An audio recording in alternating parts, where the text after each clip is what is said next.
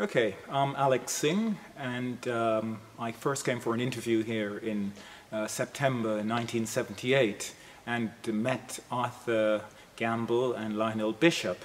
And I was dressed in a three piece suit, and it was quite hot, and I, there I was. And I came in, and they told me, No, you don't have to wear any uniforms. Coming from Jamaica, this was God bless for me. I mean, I was really happy because I didn't like uniforms.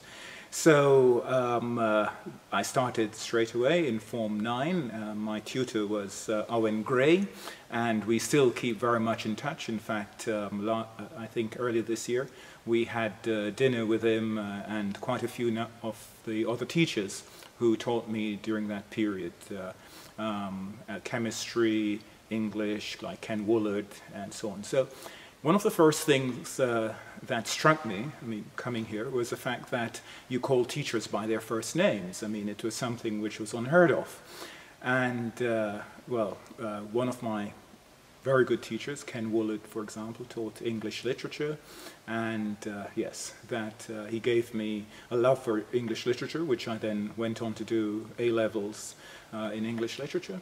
We had also uh, excellent history teacher, geography teachers, um, Kathleen Rose. Uh, in fact, I just called her last year. She was uh, almost 80 or in her 80s. She was in Edinburgh um, on the day of the Scottish uh, um, um, elections. And uh, anyway, she was um, very much uh, in good health and very happy to hear me because, well, we went to Swanage and so on on different field trips, and all of that was, was fantastic.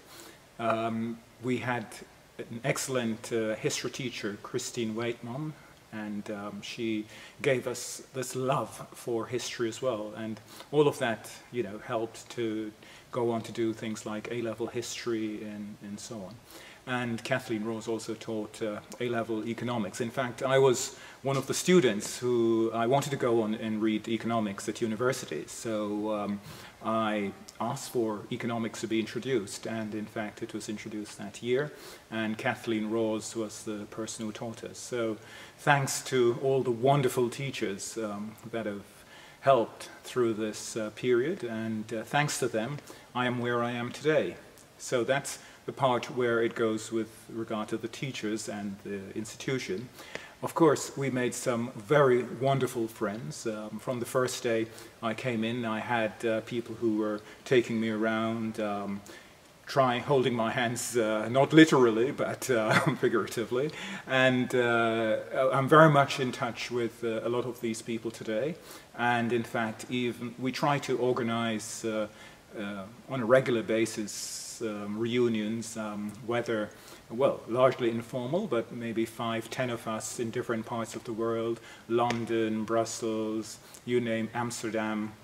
And uh, in fact, I was quite privileged to be uh, invited by four of the uh, girls from my year last year, and we went to Sri Lanka, and so there were five of us, all celebrating 50 or 51 years, and um, so we're very much a tight bunch, and um, so I think that is something that the British school um, gave us. It's uh, this sense of unity. So no matter where you came from, we are still very much close if you make the efforts to stay in touch. And I must say, thumbs up to Facebook because it has helped a lot of us to be back in touch.